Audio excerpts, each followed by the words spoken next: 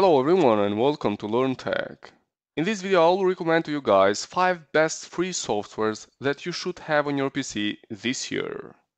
The first app that I want to show is Lightshot. This app offers the fastest way to take a customizable screenshot. It's an easy to use application which allows you to select any area on your desktop and it takes screenshot with two button clicks. Shotcut is another app that I would recommend to use it for video editing.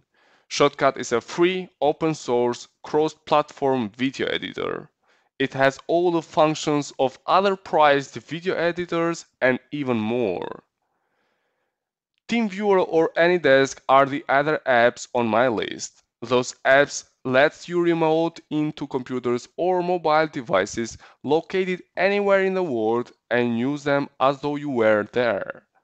Especially now when many of us is working from home and need for remote help is increasing and in this case those software are a good choice. Let's jump to the other software which is Opera browser. With this browser you can browse fast, secure and ad-free on mobile and desktop computers. And the most powerful feature of this app is the ability to use a built-in VPN of this browser which is for free. I have done a more detailed video regarding this browser and you can find the link about it on the description below. Another app that I can recommend to you guys is Signal, which is used for chatting.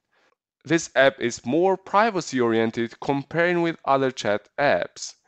It uses an end-to-end encryption powered by the open source Signal protocol, which keeps your conversations secure. You can use it on your mobile and also on your Windows computer. Those are five free softwares that I recommend you to use for 2022. I'm using them for years and I'm happy. For each one of these apps that I'm recommending, you can find the link on the description below in case that you want to install them on your PC. Thanks for watching and please do not forget to subscribe. Thank you.